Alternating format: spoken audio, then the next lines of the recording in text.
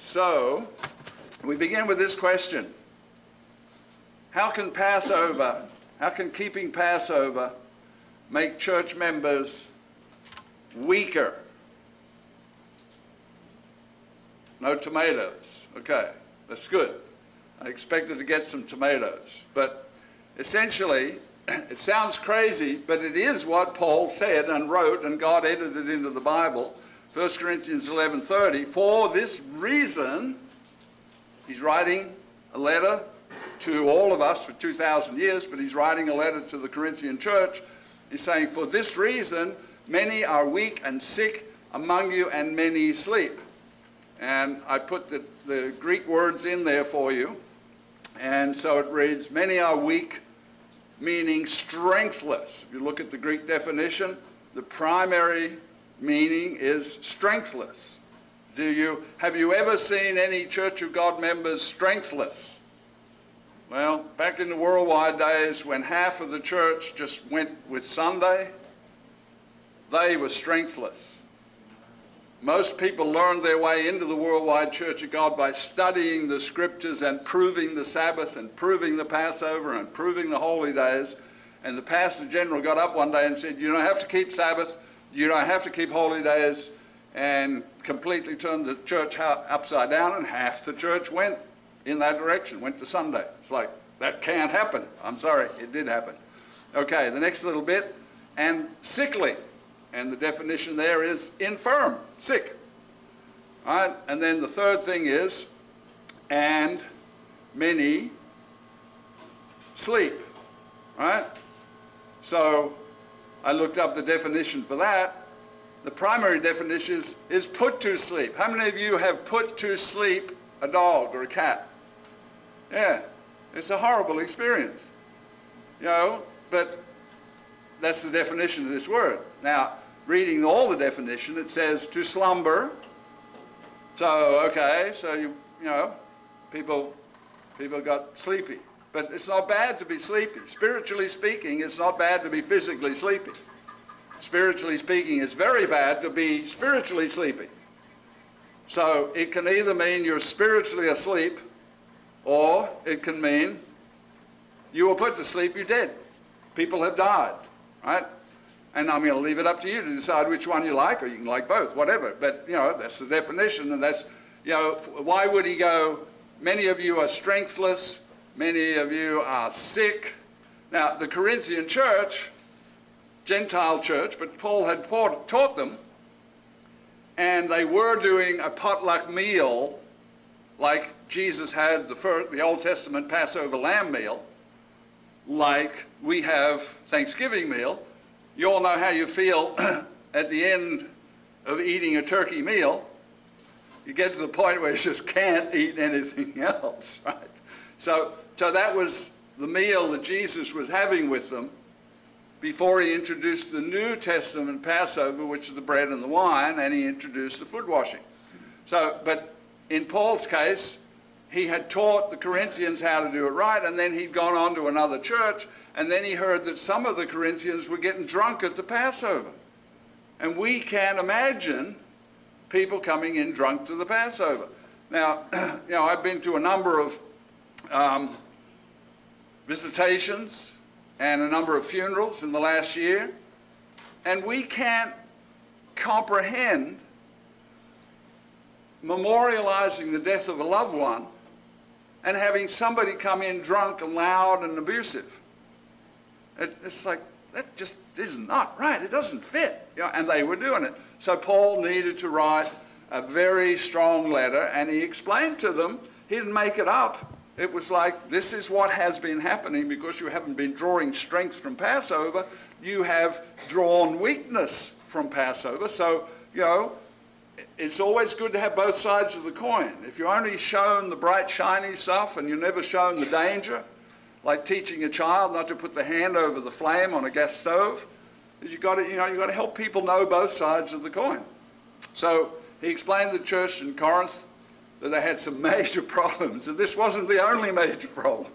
If you go slowly through the, the 16 chapters of 1 Corinthians, they had major problem after major problem. and they were just in sad shape as a church. Verse 27 Therefore, whoever eats this bread and drinks this cup of the Lord in an unworthy manner will be guilty of the body and the blood of the Lord.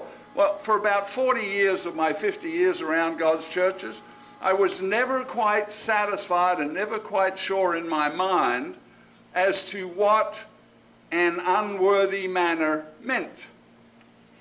And I have talked to people over the years who said, I just don't feel worthy to come to Passover. And so then I looked up the dictionary. It doesn't mean that at all.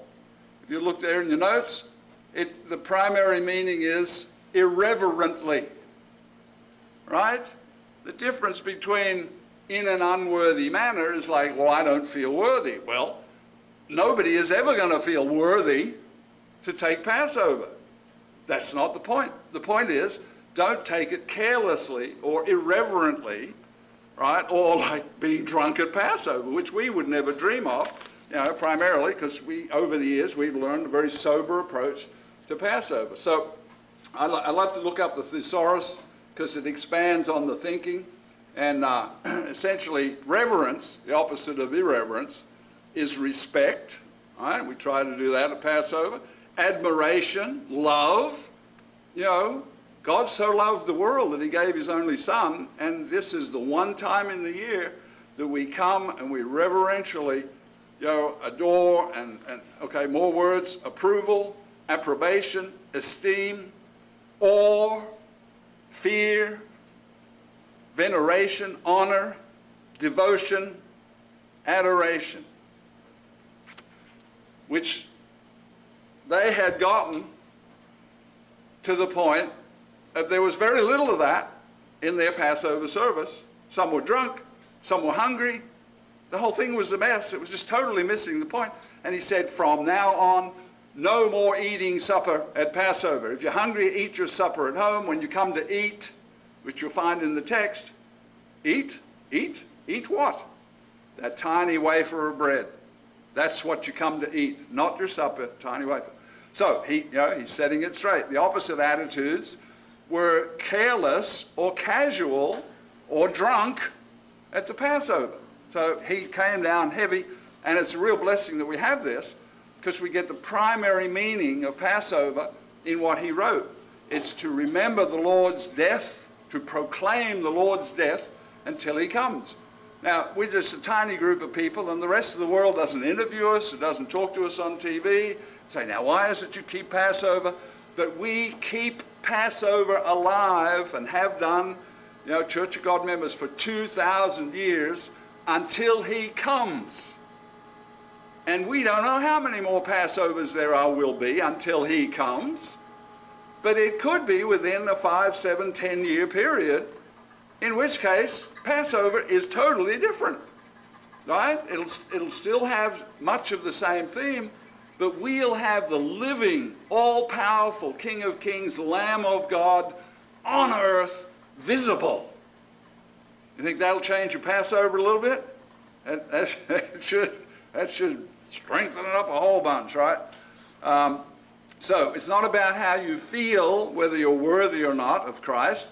It's about doing, not doing it carelessly and doing it with much concern of how we have been serving the Lord Jesus Christ for the last 364 days. It's, it's our marker point for the next year.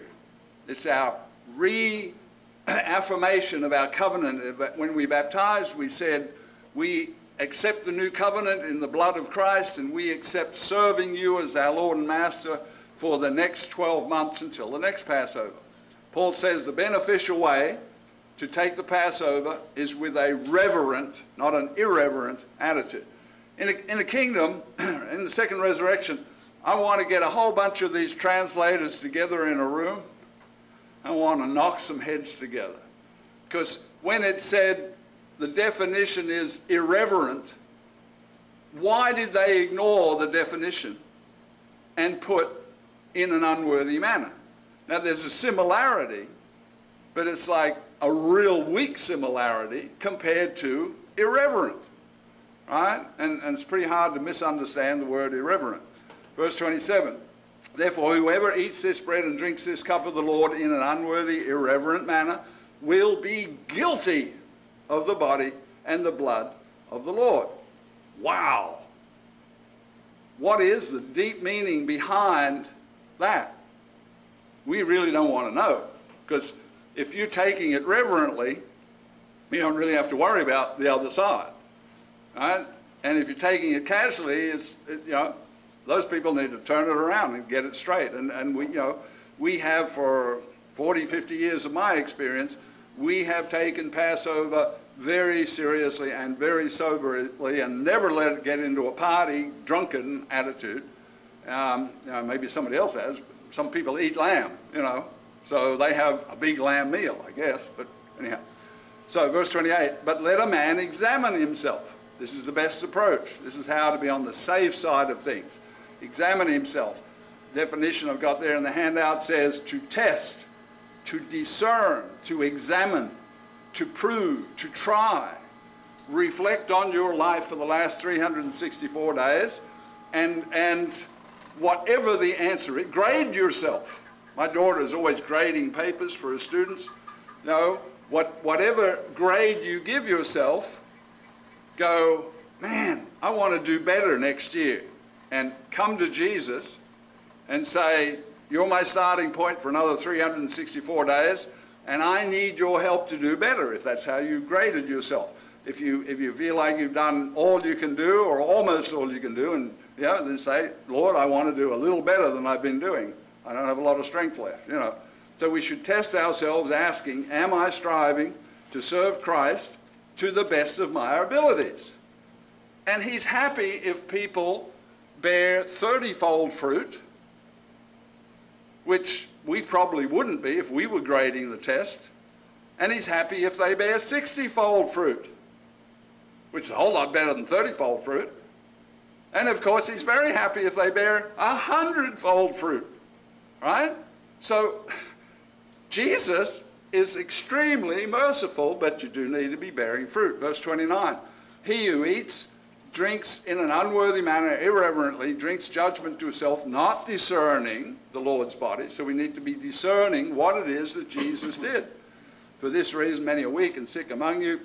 And so to discern the Lord's body means, I gave you the de- Greek definition, to separate thoroughly to discriminate, which now you're not supposed to use that, unfortunately.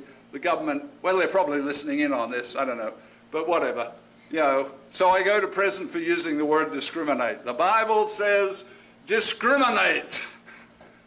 Understand what it is that Jesus did when he came and suffered and bled and died and had his beat, beaten body so that by his stripes we could be healed and so on. Discriminate, to decide, to judge judge what it is that Jesus has done for you.